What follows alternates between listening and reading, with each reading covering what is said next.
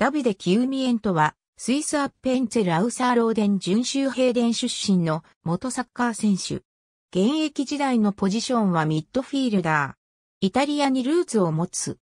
FC ザンクトガレンの下部組織からユベントスの下部組織に移った当時はアレッサンドロ・デル・ピエロの後継者として期待されていた時期もあったが、トップチームには1試合に出場したのみで、レンタル生活を余儀なくされた。ルマン UC 時代は松井大輔と共にプレイしたが、フィジカル重視のリーグアンの中でスタメンを奪えなかった。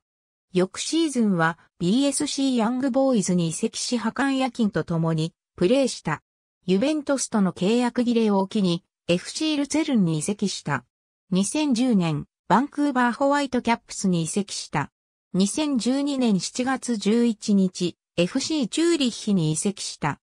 イタリア代表入りを目指していたが、スイス代表への道を選択し U-21、スイス代表として2004年の UEFAU-21 欧州選手権等13試合に出場した。